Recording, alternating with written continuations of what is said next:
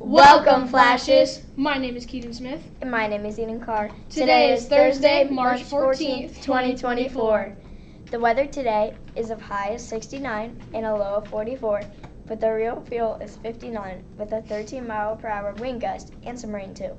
Happy birthday to Riley Kuzma and Andrew Strogan.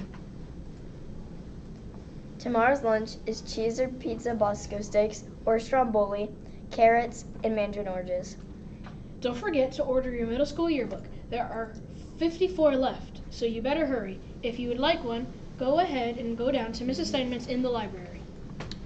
Don't miss out on the theater play tomorrow and Saturday. The tickets will be from will be six dollars for students and senior citizens and eight dollars for adults. We better see you there. Next week, on March 19th, there will be a remote learning day for students because of Election Day. You will be on a two-hour delay schedule, and, a, and Google Meets will be from 10 to 11 a.m. and 1 to 2 p.m.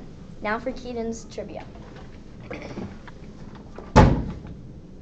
Today, today's question is, what are pulps? If you know, go to WAM at willardcityschools.org. Again, that's WAM at willardcityschools.org.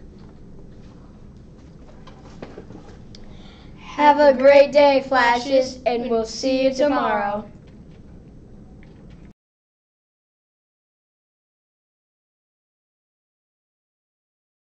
Hi, my name is Julian Blackburn, and I'm playing Marlin. He's a clownfish. This is Marlin. He's a bit heavy, but you come out and watch the show. It's going to be really fun.